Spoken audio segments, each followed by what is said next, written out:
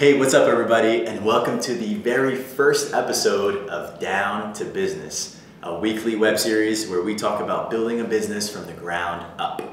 I'm John Henry, your host, and every week I or someone I bring on the show will answer any of your questions that are related to about the first one to two years of starting a company.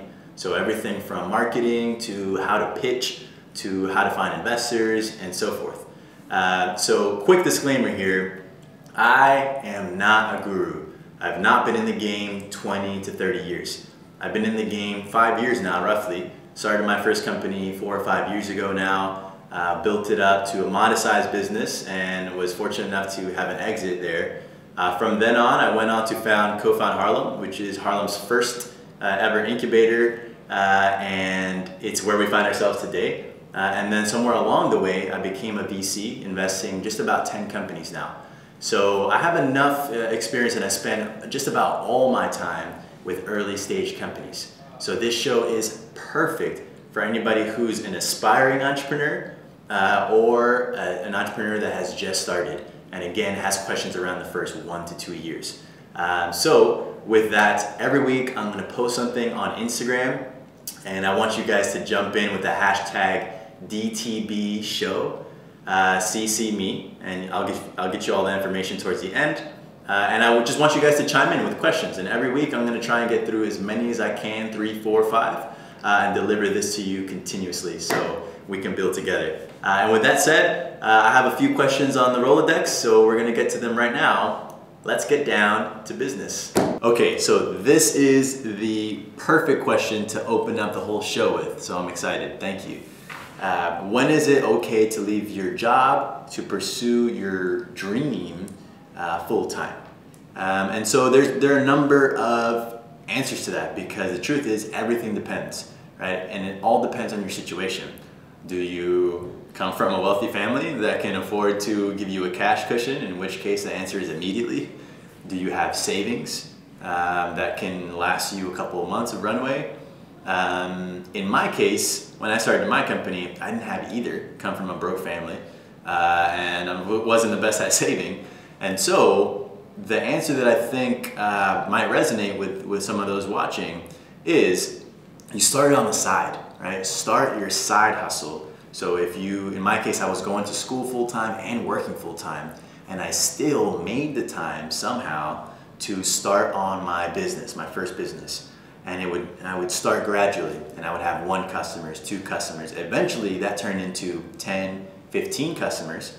Uh, and so the balance started tilting where my side hustle was kind of becoming my primary hustle. Um, and as that happens, I found that for me, the time to make the leap was when I physically uh, couldn't do one, I couldn't do both. So the, the hustle was taking up so much time that I had to choose it's now or never. Uh, and I think that's, that's a really nice organic way to do it. Because if you just jump and say, okay, I'm quitting without having anything established, you're not going to have revenue, you're not going to have experience, you're not going to have confidence. So if you start now with it on the side and you build it up, eventually you're going to get to that point where you're going to know when it's time to make that leap. So that's my suggestion to you. Thanks for the question. The elevator pitch, as they call it. Um, I, I love this question, uh, and I come across a lot of entrepreneurs that are great business people that have built impressive products, but that can't pitch for the life of them. Uh, and so this is actually an art form that I think is really worth uh, investing in and learning how to do it the right way.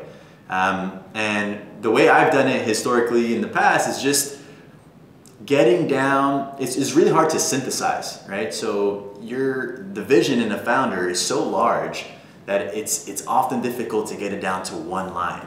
But you're gonna have to do that and you're gonna have to put pen to paper and get on the whiteboard and sum down your entire company into about 10 words and then have a few maybe supporting sentences.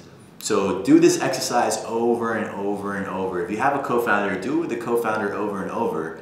Uh, and then the best way to put it into practice is to practice. So grab people that don't know your business and tell them the one-liner over and over. And then ask them what their perception is of what you do.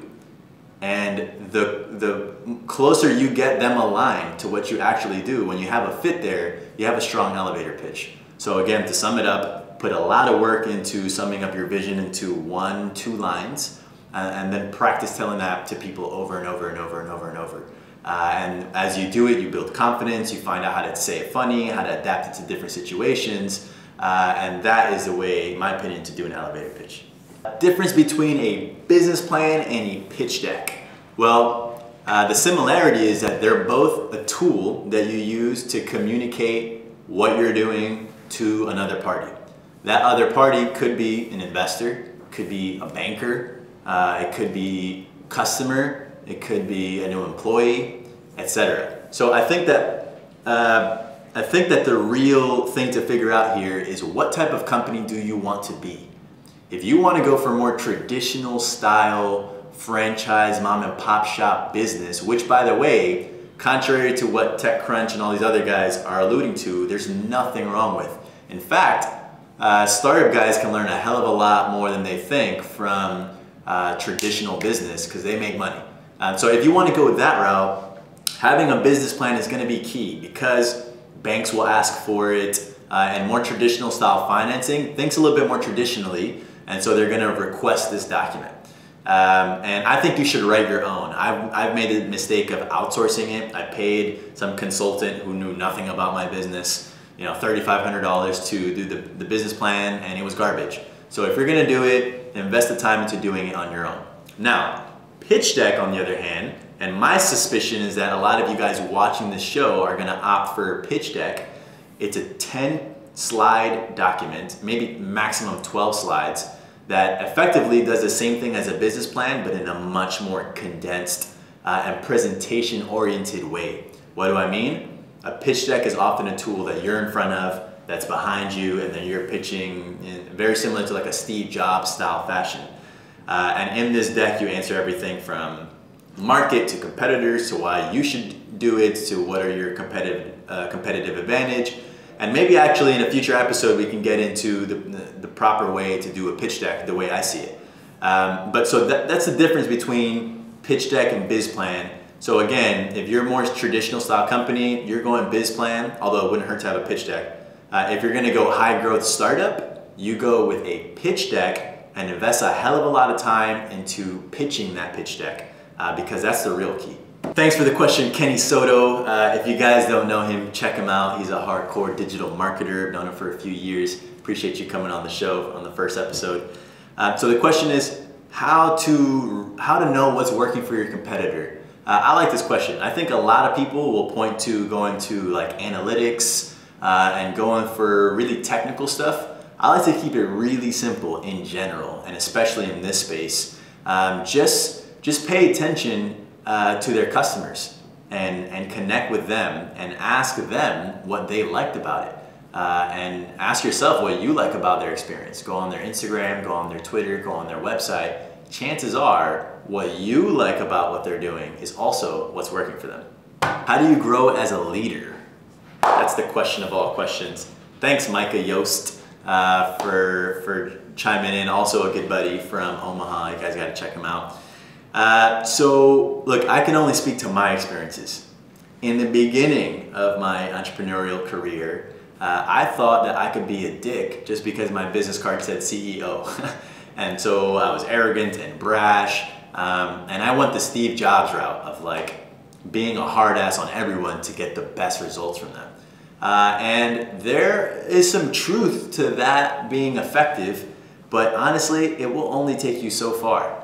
Uh, and criticism actually breeds resentment in people. And so your team starts resenting you. Uh, and I've gone through some situations where I've lost co-founders uh, and I've had, I've had uh, great relationships go sour um, in the company internally and also with vendors and everything else uh, because I was too brash and too arrogant. And so at this point, I've, and also I had a bad tendency of being a micromanager. Uh, and being a micromanager is actually a pretty, uh, it's a good, it's a sign that you're not trusting enough because you have to be on top of everything. And it's a style of leadership, I'm not gonna knock it. Uh, and it did get me to where I had to go with that company. These days, I'm more inter interested in mobilizing people. So how can I bring a team around me and put them in the position so that they can shine and do their thing? Like right now, my brother Jeffrey's behind the camera. I trust him 100% to do what he has to do from that aspect. Uh, Adam Thomas is working with me on Cofound Harlem, and he's got a, a brilliant strategic mind, and so forth. And these days, I find that bringing people on, first, be picky about who you bring on, but when you bring them on, you're bringing them on for a reason. So you trust them to do what they have to do. Um, and that has, has really been working for me lately. I, I find that um, I have less control as I'd like um, in terms of the day to day and being in the weeds. But in general, I think that the organization is able to scale a lot more quickly when you do something like that. So that's my take on leadership these days. Let me know if it works for you. All right, guys, I think this is all we have for you on the very first episode of Down to Business. Thank you so much for watching, for being a part. Um, I'm having a great time, my crew's having a great time.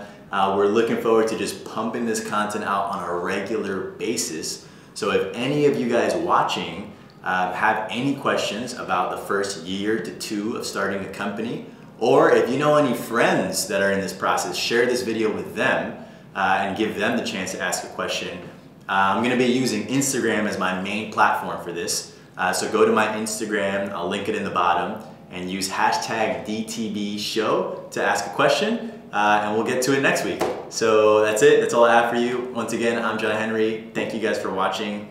See ya!